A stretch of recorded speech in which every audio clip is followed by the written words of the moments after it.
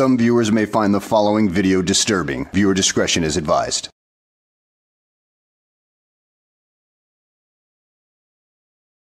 Well, hello and welcome back to the channel, everybody.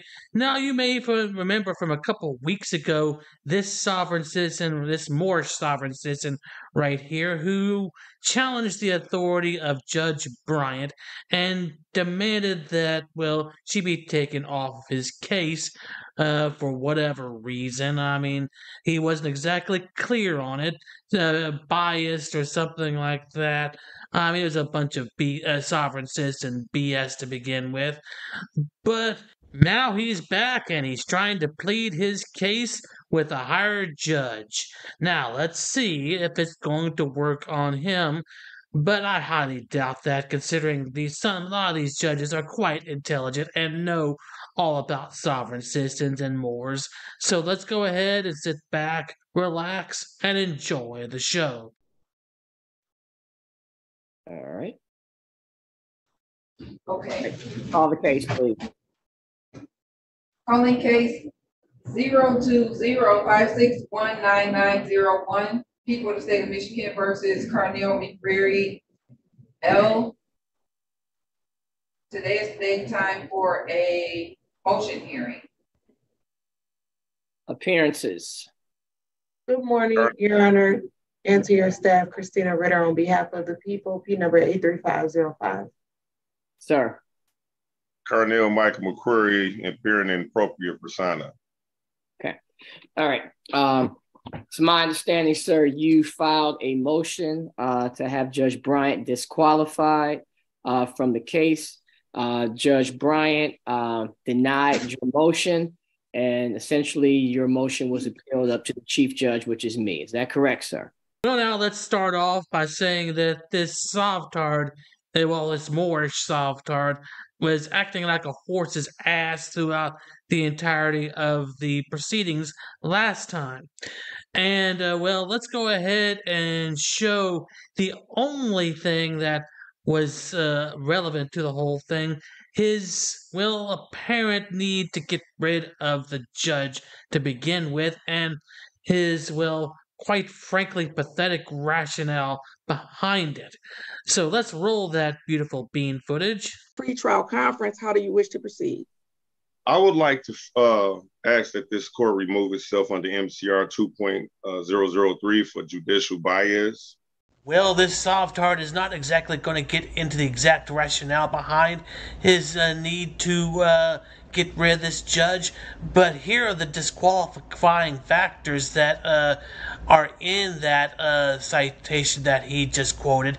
And, uh, well, uh, if he personally knew her, maybe this would get by, but I don't think so. So this could just be another stall tactic on his part, uh, like a lot of sovereign citizens try to pull. Yeah, it most likely was a stall tactic, and uh, I'm sure this judge will take his time to look at the video and see right through it because it's blatantly obvious to begin with.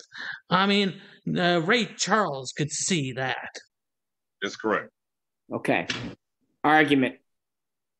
Well, the argument is, sir, uh, under uh, Michigan Code of Judicial Conduct, uh, the judge is in violation of uh, Canon 1 and 2 because um, I'm here uh, falsely accused for a 21 year old warrant.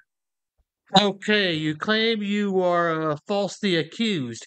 You do know that's what the trial is for, right?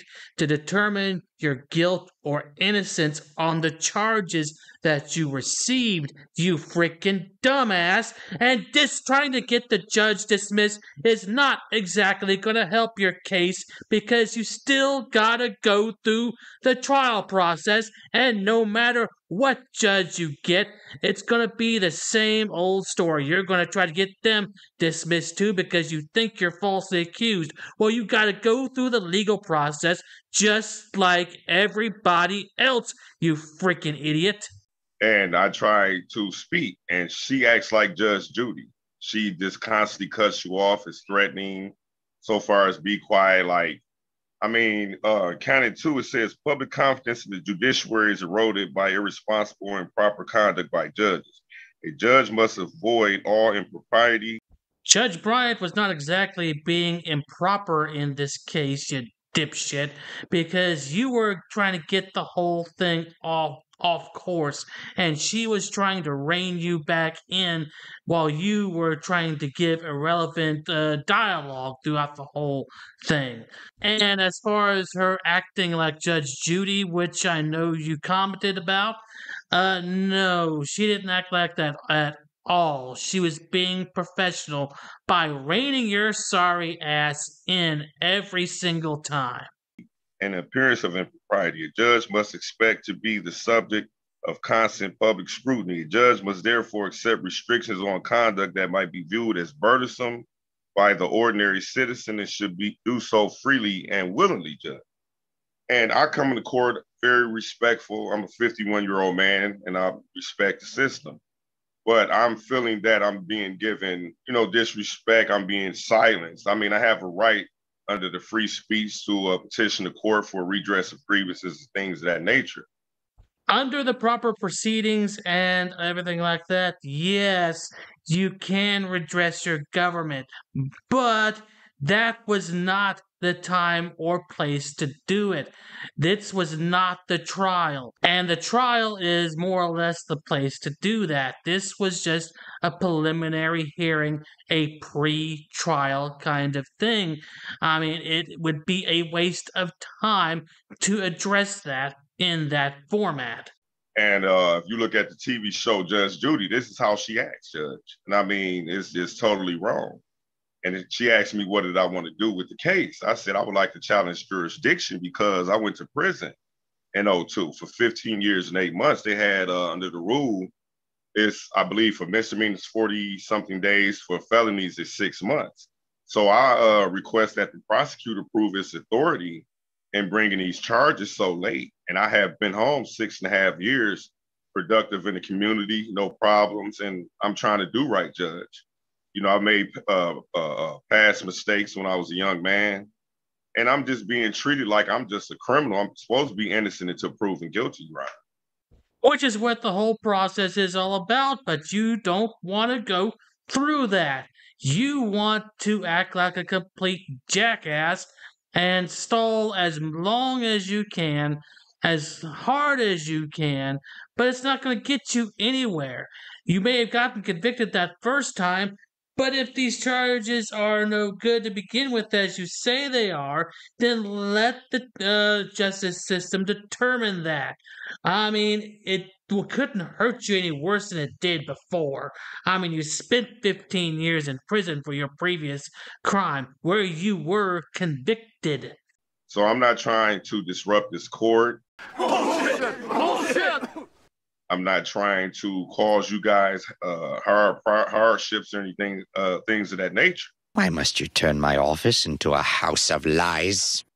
And my due process is being violated. Judge. That's all I want to just get this case so wouldn't be left alone. I'm a grandfather, I have children. And their uh, DPD has retaliated against me, Judge. And I know this is a Detroit police court and I would like an investigation as to things that's been going on by the prosecutor's office because Kim Worthy and her uh, subordinates are retaliating against me. There's actual proof.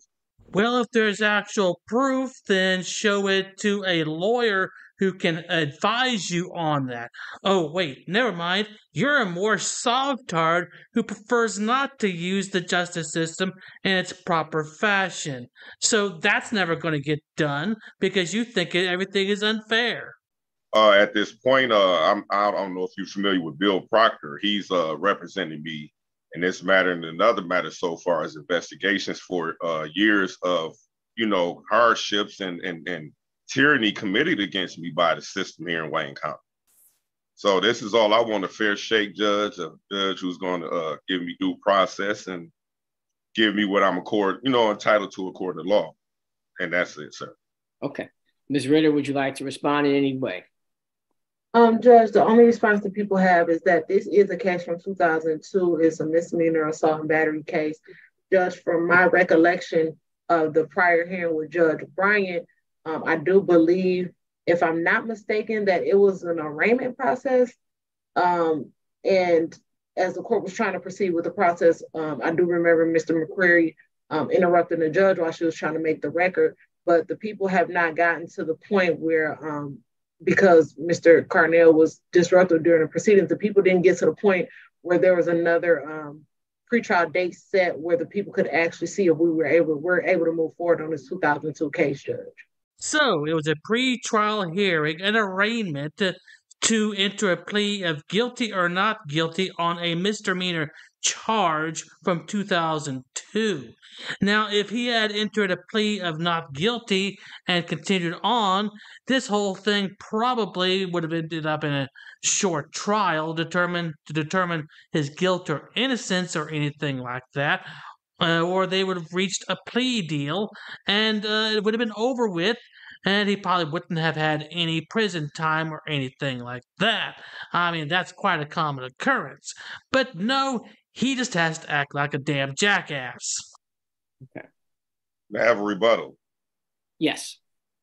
Okay, Judge. Um, I would like you, if it's possible. I know you guys are on Zoom, so you have should have access to recordings of these uh, hearings and things of that nature. I believe that the uh, prosecutor just fabricated facts to you because I was not rude to this lady. I asked, all I asked her is like, she said, "What do you want to be done with this case?" I said, "I would like to challenge jurisdiction." And Michigan and federal law requires once jurisdiction is challenged, it must be proven. How is it that the prosecutor knows statute limitations? They're licensed. I'm not licensed. I've studied for years in prison and they don't know that there's a statute of limitations. This is vindictive prosecution because of my complaints against Kim Worthy. And the record will reflect the evidence. And I object to her statements. Okay, one one second, uh, one one second, sir. I, I I have to shut off my video for ten seconds and be right back. I'm having a little technical difficulty right now. So. Yes.